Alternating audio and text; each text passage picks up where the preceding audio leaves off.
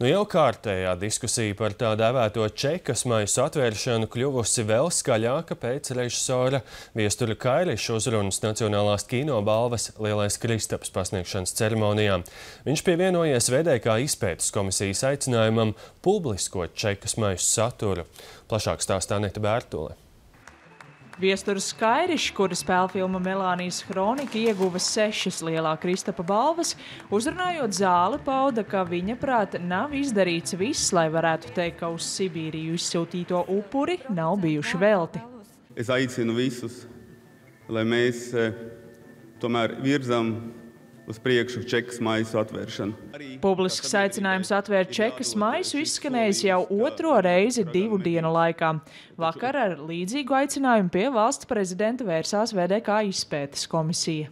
Valsts prezidents atzinis, ka komisijas vēstuli ir saņēmis un tās saturs tiek vērtēts, bet skaidru atbalstu vai noraidījumu tajā ietvertajam lūgumam gan Vējonis nav paudis, norādot, ka komisijai drīzāk vajadzētu vērsties saimā, kas tad arī varētu lemt par kādām iespējamām izmaiņām likumos. Jāsaka, ka arī iepriekšējie valsts prezidenti pret čekas maisa atvēršanu izturējušies drīzāk noraidoši. Vairs Vīķis Freibergs prezidentūras laikā saima pat divreiz lēma par VDK dokumentu publiskošanu, bet prezidenta likumprojekts nosūtīja otraizējai caurlūkošanai, norādot, VDK dokumenti ir nepilnīgi un to publiskošana novēlota. Līdzīgās domās bija arī nākamais valsts prezidents Valdis Zatlers.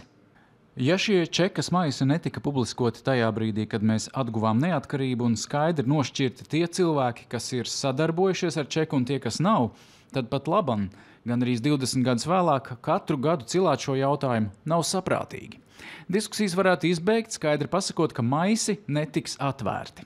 Bet 2014. gadā Saima atkal lēma, ka VDK dokumenti tomēr būtu publiskojami tiesa tikai pēc to izpētes beigām 2018. gada 31. maijā, sniedzot sabiedrībai nepieciešamo fona informāciju. Arī Kairišs, aicinot uz čekas maisu atvēršanu, vienlaikus norādīja, nedrīkst sākties raganu medības. Mēs zinām, kā darbojās šis čekas režīms. Mēs saprotam, ka daudzi tur ir nokļuvuši pret savu gribu, viņiem pat nezinot, un ka daudzi ir pie, e, nokļuvuši dažādu manipulāciju, un e, psiholoģiskas un fiziskas vardarbības rezultātā. Čekas maisu atvēršana plaši apspriest arī sociālajos tīklos, izskanot arī viedoklim, diskusiju saistām ar gaidāmajām saimas vēlēšanām. Tam nepiekrīt politologs Jānis Sīkstens. Viņš norāda, ka temats kļuvis aktuāls, jo beigām tuvojas VDK izpētes komisijas darbs, ko gan, kā tikko vēstīja LTV raidījums de facto, ievērojami apgrūtinājis satversmes aizsardzības birojas, kas anonimizē VDK aģentu ziņojumus pirms ļaut ar tiem iepazīties pētniekiem.